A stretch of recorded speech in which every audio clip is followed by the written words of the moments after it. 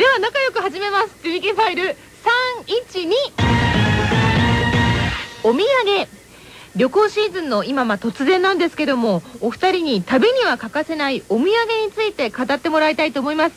日本全国さまざまなところに旅行に行かれたことがあるかと思うんですけど人に喜ばれたものまた自分がもらって嬉しかったもの北は白い恋人から南はチンスコーまで思う存分語ってください。お土産いろいろありますね。お土産ってのかい日本国内ではそうあんまり買わなかったですね。うん。昔から。日本ぐらいじゃね。うん。海外行った時に困ったね。そうそうそう。初めて海外行った時に。お選別なんかもらっちゃうやったりするとね。そうですよ。それはもう買って帰らないといけないっていう。選別をもらうような時代ですか？え？え？何？海外旅行なんてすごいっていうことでしょ？まだ。初初海外ってどこですか？志村僕さんはブラジル初海外ブラジルですか？またすごいところ僕なんかすごいよ沖縄。沖縄です。返還前の沖縄。あパスポートが行ったんだもん。もう1ドル360円だもん。あそうだその頃だ。ああうん。そうですね。実際にはだからそれをのけるとガムですね。うーん。ガムと。マカデミアナッツですか？あれはいはい。いいですね。これスタッフみんなでってこう渡せるからみんなでって言えるから確かにそれは言えるかも助かったな本当に外国でねちょっと欲しいなと思ってねうん。うーんやめとこうかなと思った時はねうん。あのやめないで買った方がいいね。あ日本にないことがあるのよ。ですよ。今やねうん。いわゆるブランド品にしても何にしたってあの東京で買えばいいやと思ったりするじゃん。面倒くさいし。日本に来てるものが全てじゃないのよ。あですよね。だからん。向こうでいい。もう袖なんかね長すぎてやれなんだけどうんシャツなんかでもいい柄のやつがあるわけよ。えでそれね東京でも大阪でも神戸でも探したら出てないって。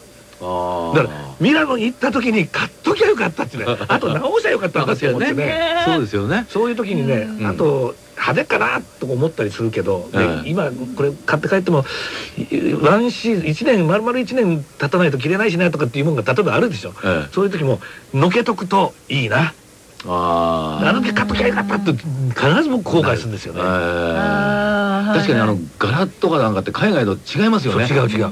本当に。うん全てのものが日本に来てないのよ。多多分日光とかねああのあの違うんだよね。あ。それに合うような色があるんだよねええ海外だと。うん。うん。買っといたあるね。そうそう。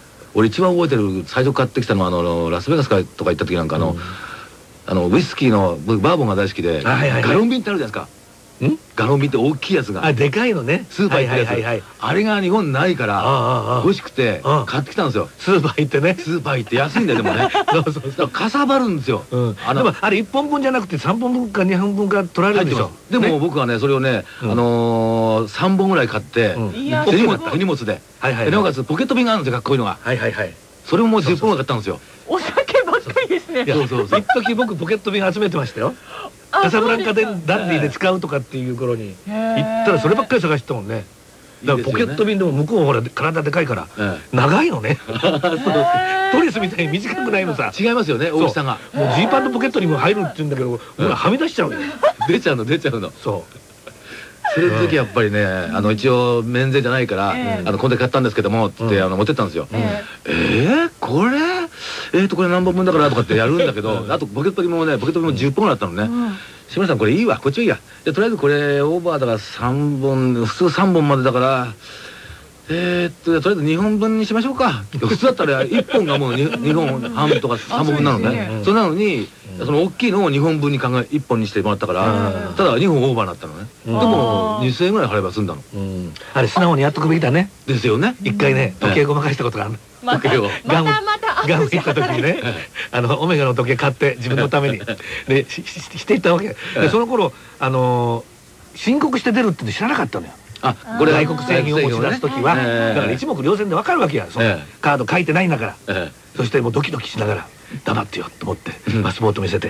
でこうやったら「その時はどうしました?」って。あ「これ僕のです」って言って。ええ。もうタイガースのジュリーですよ。ええ。買ってきたんでしょ。いくらでした？領収書とか見せなさいいや買ってきてません これ僕持ってたやつつつつって言って言えてないってそれでもでカードで申告しなあそれ忘れましたとか言うてもえ はいわかりました。でピッて書かれてあそこ行ってお金払ってくださいって ダメ。ああダメだったんだ。イカリアさんがね、あのそのエッジ本を向こうのノーカットのエッジ本を束にして買って持ってったと見つかるんで船便で送ったんだって。いっぱいその方がバレますよ。で船便郵便局行ったら「これ何ですか?」って言ってで本人行けないから付き人に行かしたんだよね。うん「それ開けなさいこれ」って言われてでそれで開け開けてうん。で欠乏してだったけどあー。ああれ郵便局で全部開けてるんだよあれ開けられちゃうんだよ。あですよ。ねビデオなんかビデオなんか全部なんなんでもないハワイからねハワイの知ってるこうあのいろんな番組アメリカの番組を撮ってくれて送ってくれるわけ、ええ。全部開けられてるもの。あいやーそうなんですうん。一番後で。で取りに来てくださいって言われてで本当にこれ間違いないですねって見せられるの。開けたやつを。あそうなんですか。そうなんだへーあとあの一番大笑いしたのはあの亡くなっちゃったのが新井忠さんがはい。ラスベガス行った時に向こうでいっぱい本があるわけ。うん。もう日本で全くノあのノーカットのやつがはい全部してエッジ本はいうんエッジ本をでも部屋のベッドに全部これ並べて持ってけねえしなーって。言ったら何を考えた？ら写真全部撮りましたってで。も考えたらそれ現像出せないじゃないって。知り合いの写真に写真。に出せない そういうエッジ本とかなんか昔はねいろんな工夫してあったんですよね。エッジ本うん、ね。マカデミアナッツ10箱買うとその中の1箱だけをビニールをわーく剥がして その中入れてくれるとこあったんですよ。ええそうそういう業者がいたのそれで金取るんだ。そうそうそう。へであの一一箱だとそれがバレちゃうから、ん。だから10箱の中に1個入ってると分かんない、で取る時にみんなガサッガサッガサッってそこで音するから分からないねああのセロファンを全部剥がして、うん。中にあの本を入れてそれでやってくれるとこあったのよそんな思いまでしてもう蛇の道の蛇すごいなすごいな。でもねちょっと変なものが入ってるとドキドキするって顔出るよね。そう絶対ななるそういうことしてると。本当に。おどおどしちゃいますかね。そうそうしちゃうしえー？あと好きなのはうちの子なんか買って買ってくるのは提灯あーちょうちん。実家行ったら提灯ずらーっと並んでるあうちの親戚でもいますよ。ちょうちん集めてるところ。あるんあるだよある俺なんか本人が知らないようにねあのバカ殿のあの何？ストラップ？はいた。あれがね四国版とかねあちこち全部出てんの。ああのご当地あります？私見たことありますもん。ラベンダーバカ殿とかでふざけんじゃない。って本人知らないんだからあれあれ富良野ですね。なので。本当。こう今はお土産は楽ですよね。そうですよ。その送れるってあるから。あーうん関西にしかいないもんとかも商人しかないもんもあるしね。そういうのは結構持って帰ったりするけどな。では一曲入ります。沢田研二さんストリッパー